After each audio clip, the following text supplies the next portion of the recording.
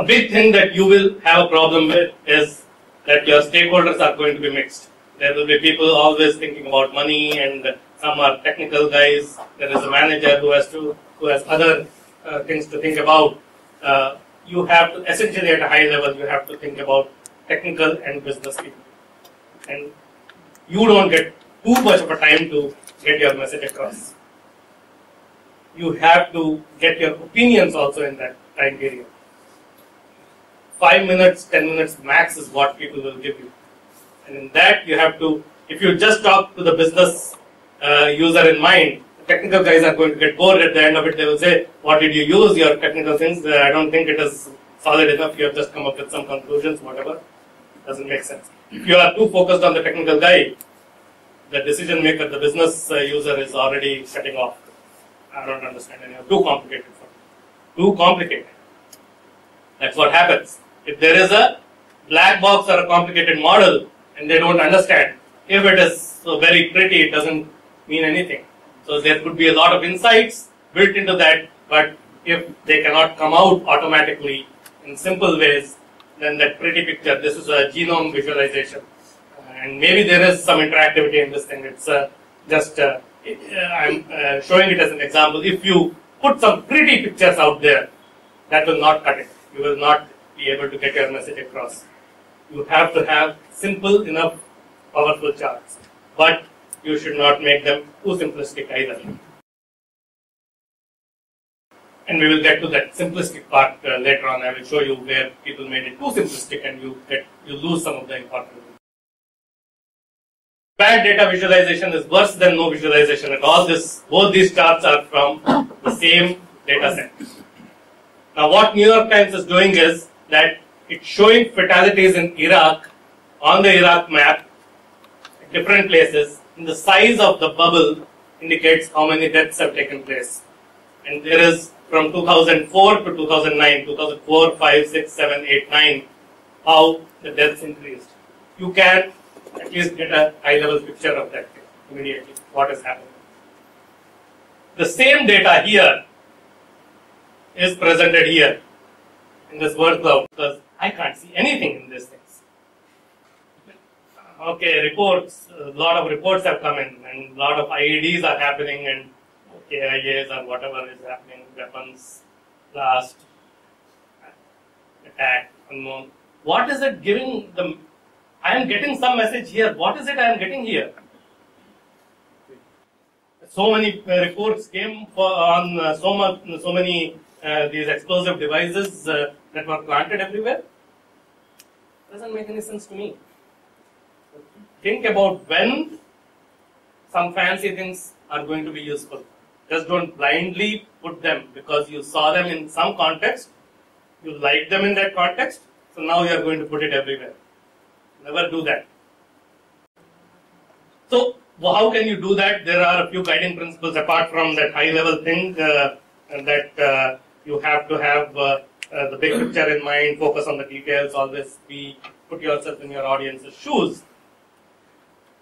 Some of the things that at a uh, greater level you have to bring are clarity, transparency, integrity, and humility. I'll show you some examples in some of these things uh, to highlight what they really mean. Clarity, it should be just simple, efficient, effective. It should hit the message across. Should be direct. Should not be in a roundabout manner. You should not get your message across. You see that, you get the message across. The key ideas, the main purpose should always be highlighted in the message as we talked about in the morning.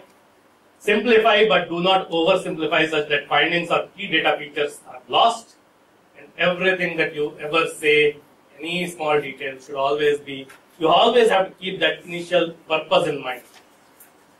Is my main purpose, main objective, is this linked to that or not? If it is not, leave it alone. Any sentence you write, any chart you put, should always think about it and see how it links to your main message you want to convey. Get that information. Now, someone tell me, there is a speaker one, uh, they have been rated on content, value, and presentation, and there is a speaker two. Uh, who has higher rating in content and value between these two? Speaker one. Speaker one. Speaker two. You look at the scale. this is a common way of misleading people. There is nothing wrong. See, that's the message that will immediately go across. Communication is that's what is going to happen. But that's misleading. Some people deliberately do that, some people because automatically the, the scale was selected like that. I have taken this from a real thing that I got recently. I just am not showing the real data. When you are putting together a chart, you have to worry about the axes a lot. You have to always first see the axis, which is a lot of the time we ignore that. So you have to pay attention. Whenever there is a graph, first thing blindly, look at the axes. If the axes are not clear, the graph is meaningless. Just throw it away. Axes are very important. Transparency. You have to also explain the methodology that you have used when you are writing a report or presenting. What is the methodology you used for getting those insights? What are the techniques that you have used? What are the assumptions that you have made? You have to make that. Those are important. I have a chart here taken from some website. Growth of data versus growth of data analysts. Stored data accumulating at 28% annual growth rate, data analysts in work, uh, workforce growing at 5.7 growth rate. So by 2014 or something, now I don't know what to read from this message. The the data growth and the data analyst growth are same or what? Uh, what is the problem with this thing? Do I need 28% annual growth in my data analysts to be able to handle that kind of growth? Or is 50% growth in this thing required? What are the numbers? What, what, what is it that will help me bridge this gap? This gap has, these are two different things being talked about in one scale, uh, one, one chart. This does, does it mean that because of this growth rate, I will not be able to handle this much data? Why is it a straight line? If, if I have a 10% growth rate in data analysis, the chart might be like this, but maybe we will be able to handle all of this thing. There is no gap there. What is the relationship between data and the data analyst there? There is none. But initially, the thing is, these are these kind of marketing things. They give a message across. You immediately see that the message is that, oh man, the data is growing so fast and we don't have enough people dealing with this thing. Let's just do that. That message comes across immediately. Done. We are done. We don't pay attention to this thing. But the moment we pay attention to that, it's a meaningless stuff. Integrity represent uncertainty and limitations accurately and honestly. It is common and tempting to exaggerate the implications of the data. We saw part of it when we talked about that, those two charts, same data. We do tend to exaggerate because we have to, we have a message in our mind, some great thing that we have to convey, and we tweak the data to tell that same story. That should not be the way. Let the data tell the story, you tell that story. Not you create a story and then fit the data into that. We all do that for various reasons, uh, business purposes, etc. We end up doing that. We have to be very careful with that. And we will see some examples. What's wrong with this one? 50% of graphic designers have red hair. Nice, beautiful, pretty image.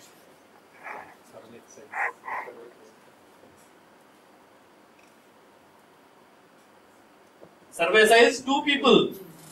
One person has red hair, one person has black hair. And now you have come to the great insight that 50% of the people in the world. Now here, what's wrong with this?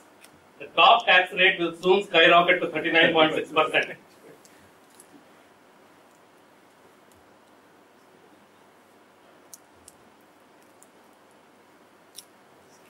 Scale. Scale. Scale. Scale, what's what's the problem with the scale?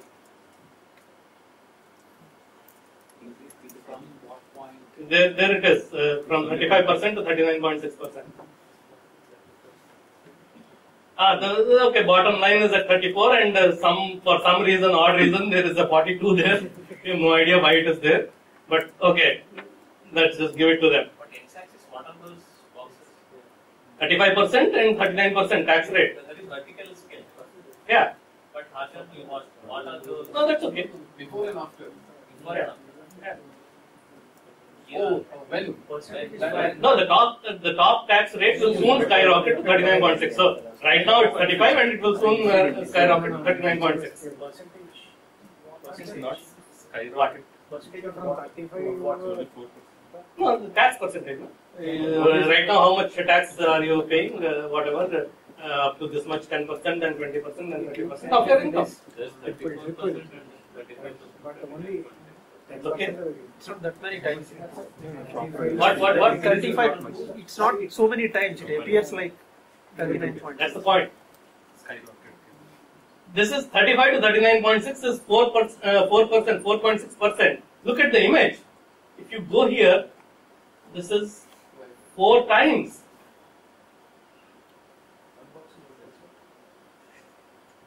You can fit 4 of these boxes in here. So this makes it look like there is a huge increase. 4 times increase is happening. Fact is only 4% increase is happening.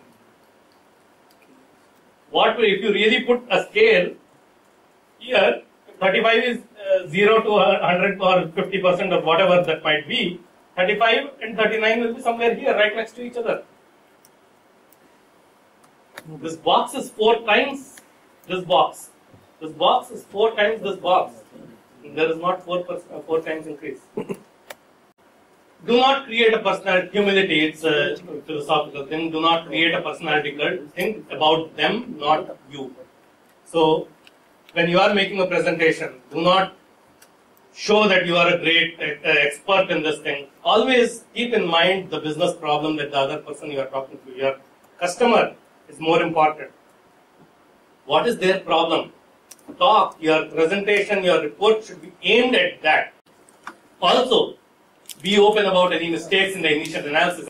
You talk about that process, how you went from one step to the other. Be open about that.